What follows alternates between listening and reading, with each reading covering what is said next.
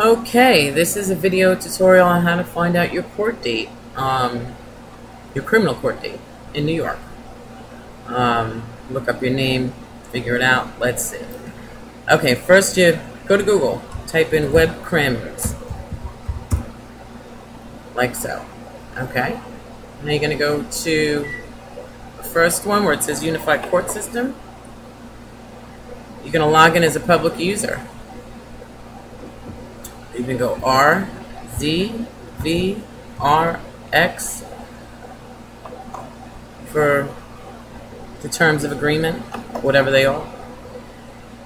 Now, if you want to figure out where you need to go, you have to know your name, of course, or know the name. So I'm going to say, click on defendant name, and I'm going to say John Smith. Enter. Now you see all these come up with these John Smith names. Where he's supposed to be, scroll down, find which John Smith you are. Say I'm John E. Smith, Queens Criminal Court. Another window pops up, and that's it. This will tell you all the information that you need uh, on the case. Uh, they have a case. Um, let's see. Let's click on the first one. See what we get. We click on this, we have summary, appearances, charges, and motions.